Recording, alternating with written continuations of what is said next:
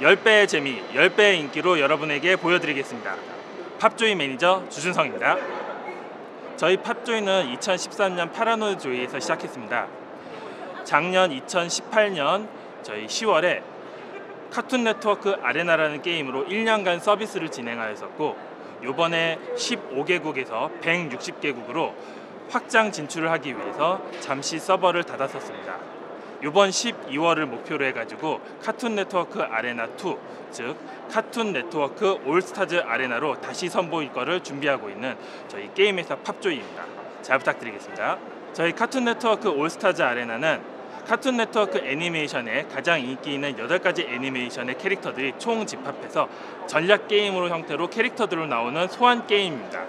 카툰 네트워크 채널의 8가지 애니메이션의 캐릭터가 자신의 스킬, 무기, 설정들을 그대로 게임에 녹여낸 저희 카툰 네트워크 아레나 올스타즈입니다.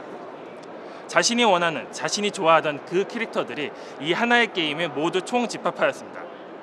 여러분들이 원하는 캐릭터 8장을 모으셔서 하나의 deck을 구성하여 상대방의 성을 공략하는 전략적인 게임을 한번 경험해 보시면 좋을 것 같습니다. 저희 팝조이는 카툰 네트워크 채널이라는 IP를 사용하고 있지만 실제로는 스타트업 기업입니다. 그러다 보니까 홍보라든가 마케팅에 사용되는 비용이 저희가 너무 부담되다 보니까 이런 지스타 같은 큰 행사에 참여하는 것만으로도 저희가 홍보할 수 있는 기회를 얻게 되고 좀 더 많은 팬들에게 이 게임을 알리고 싶어서 이 지스타에 참여하게 되었습니다. 스타트업 입장에서 게임 개발과 그리고 서버 안정성 등 다양한 면에서 저희가 중점적으로 생각하다 보니까 실질적으로는 마케팅이나 홍보에 많은 여력을 쏟기가 힘듭니다. 특히나 이런 지스타 같은 데에서 저희가 참여하지 않고서는 저 비용으로 많은 분들에게 홍보 효과를 누르기는 더욱더 힘들 거라 생각합니다.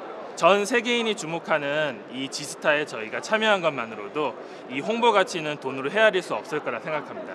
그렇기 때문에 이번 지스타 참여 정말로 소중하게 생각하고 있습니다. 2019년 12월 카툰 네트워크 아레나 올스타즈가 출시됩니다.